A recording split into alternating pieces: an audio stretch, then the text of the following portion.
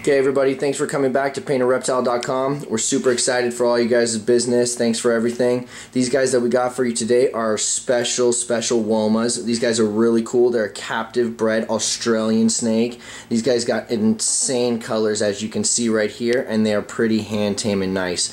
Right now, they're eating fuzzies, pinkies, anything you guys got for them. You guys can get these guys today at our website, paintedreptile.com. You can call and email us for more questions. See you guys later.